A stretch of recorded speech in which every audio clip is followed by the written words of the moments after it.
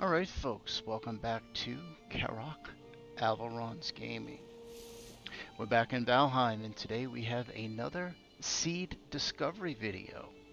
If you are a frequent flyer on my channel, you know that I do Valheim videos where I seek out and search seeds for maypoles. It's just one of the cool little side games I believe that you can do in Valheim. I think maypoles are cool. Of course, you can go into cheat mode and build them anytime that you want.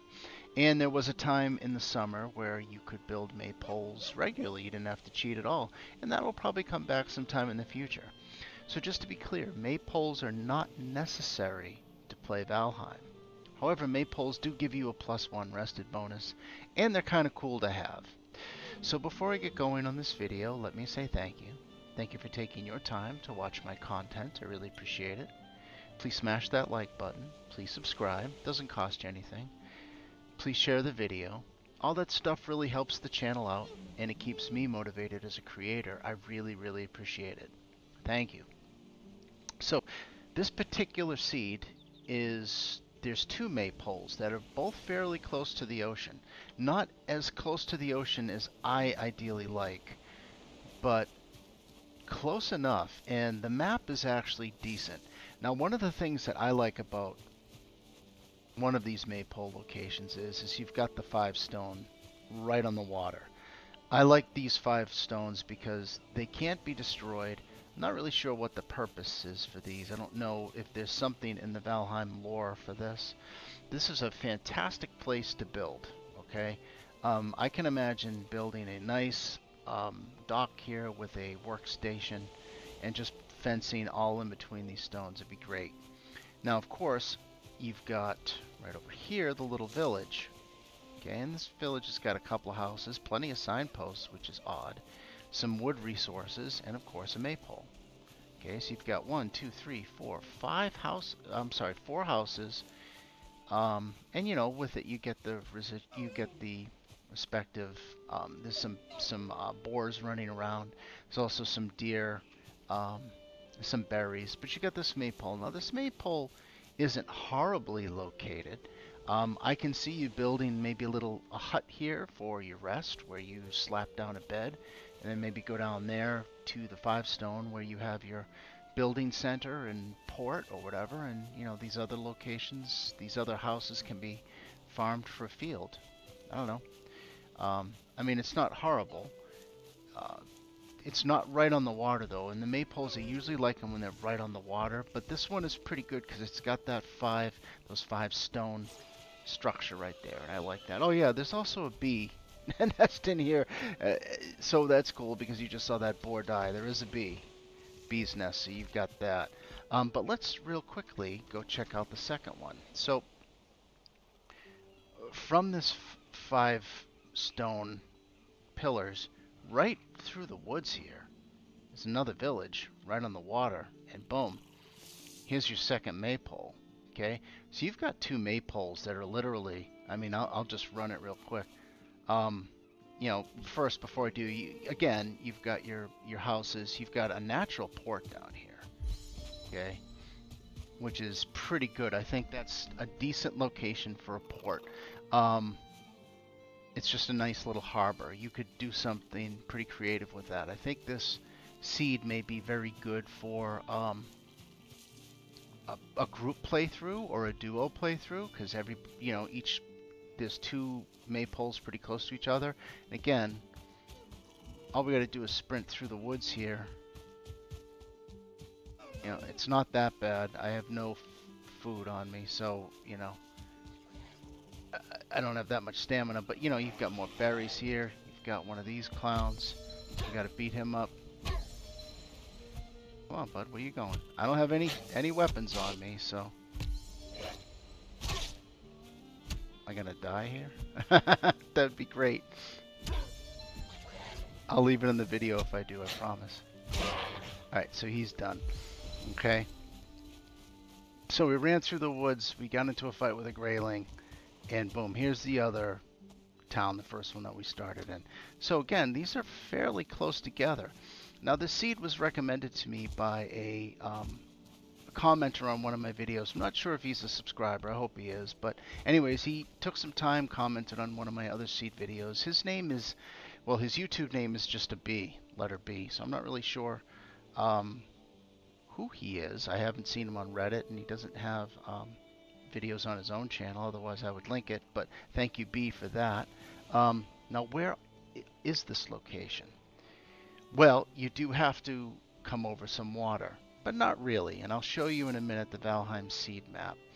This is directly at about 4 o'clock from the spawn. And this is ocean out here, okay, which is cool. As a matter of fact, right out here, there's actually a couple of Leviathans. So this is actually a fairly good location. But how is it in terms of proximity to other stuff? We've got the two maypoles. That's really cool. We've got a nice location here with the five stone. I, I, I think that's a, this is an exceptional place to build. But let's take a look at the map. So here's the map. Okay, here's the spawn. So we're going to put those maypoles up real quickly to show you where those are. Boom. So you're right over here. So I, I, I stand corrected. You do technically have to, to take a boat over here. You can't, there's no land here.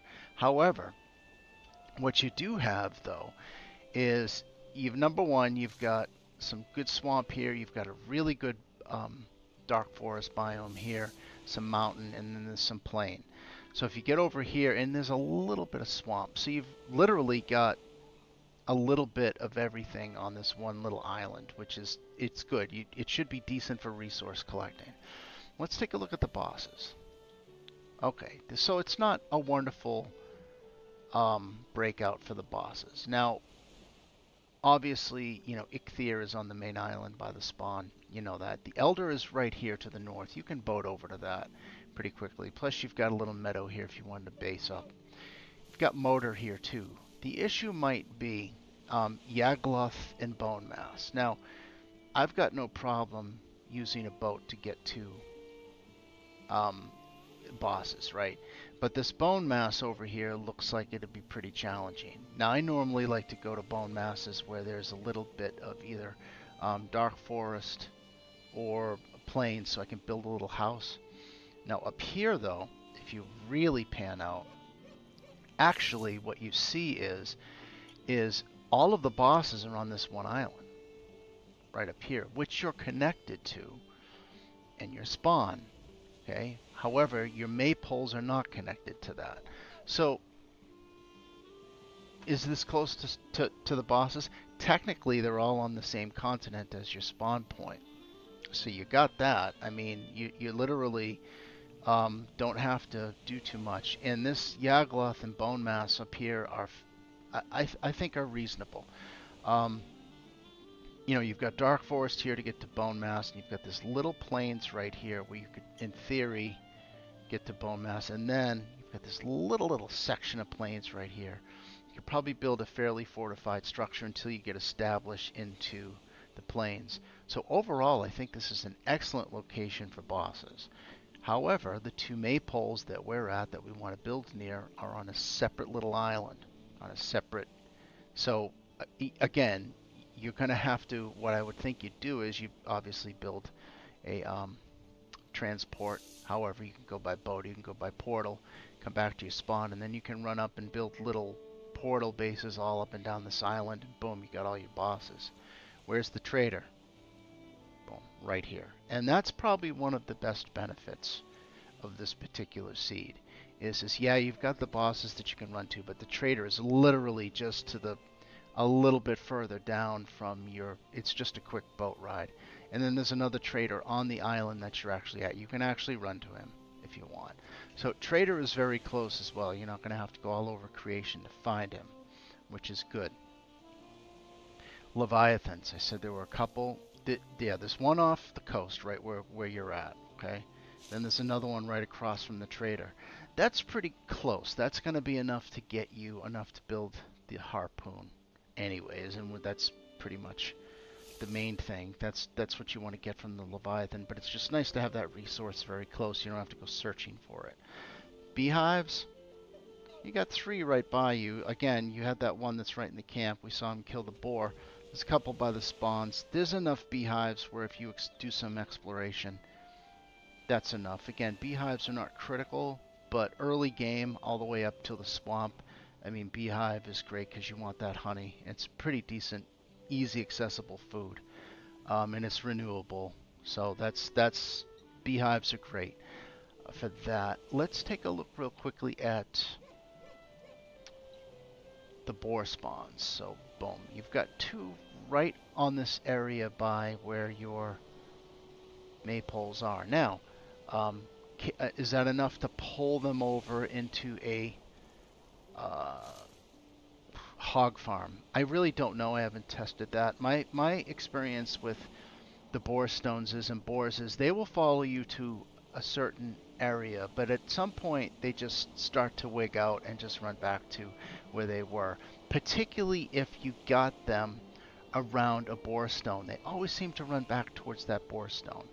Uh, I'm not sure, you know, I, I just think it has something to do with those particular boars in the game. Now, when you find a village in Valheim, it usually has two or three boars roaming around. Those are free roaming boars. They will chase you until they really get tired and it takes them a while. But when you find a boar stone, if it's not extremely close to where you want to build your boars, often they will chase you to a degree and then they'll just run back.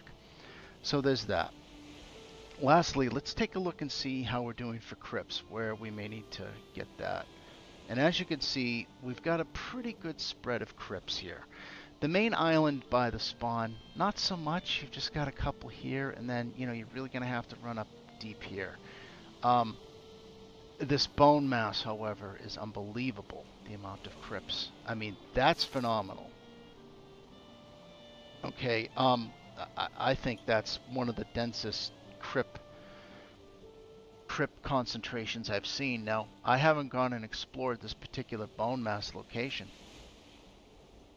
But if one of these crypts is fairly close to the actual spawn for bone mass,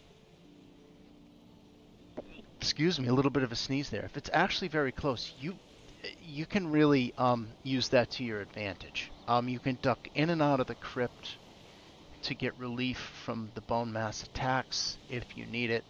Um, you can build a little um,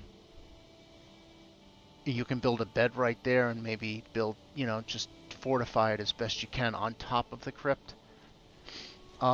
You know bone mass can still hit that, but still it's it's something. And if it's really watery around where that bone mass is having an elevated area to fight from is pretty good. So I think this bone mass is exceptional um, for the amount of crypts etc it's not to say there aren't other crypts around as well. I mean the the swamps in this particular seed are pretty thick.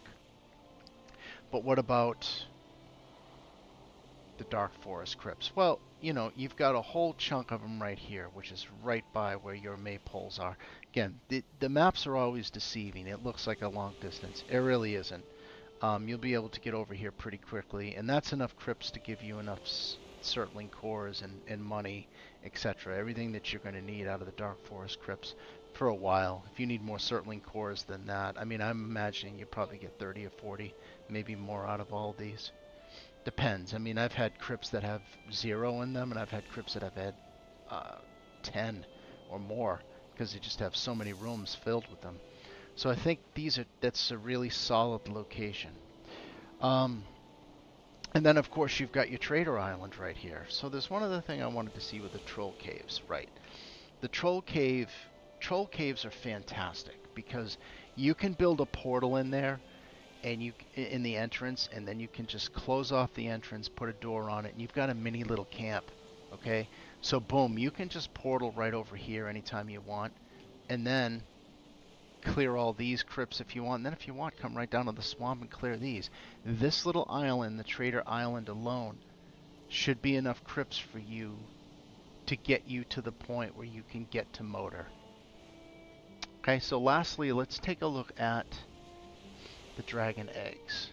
And that's another nice feature of this particular seed is is the Moder location got a whole bunch of eggs right by him because as you know dragging eggs to Moder is a pain in the ass because they they're heavy So you can't carry three of them at a time. You got to carry one up, drop it in, carry one up, drop it in. I think you can carry two at a time. If I recall, what are they, 150? So if you have the belt, you can probably get away with um, get away with two of them. I, I really don't remember. It's been a while since I've done Moder. Um, but yeah, I think overall this is a really good seed. I think, again, you've got these two maypoles, which if I go back, I should be in the middle of the night. I am. And I think this is going to be a pretty good seed for you to play if you're doing a duo playthrough with a buddy.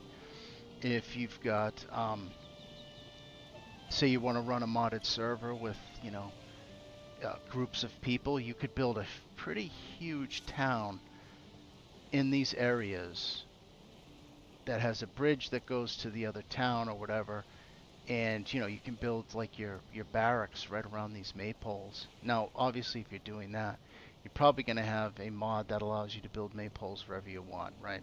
But uh, that said, if you could play, you know, like I like to play the game just, you know, kind of straight at this point. I have a couple of mods that I play around farming, but other than that, I play it just straight. So, um, like my current seed that I'm playing is, is, eh, you know, I've had to craft everything when it becomes available. So I was playing it when the maypole was able to be built. I built it at that time if you're just looking to um, find maypoles and you want to build around a maypole and play a clean vanilla game with no mods, no cheats, this seed's great.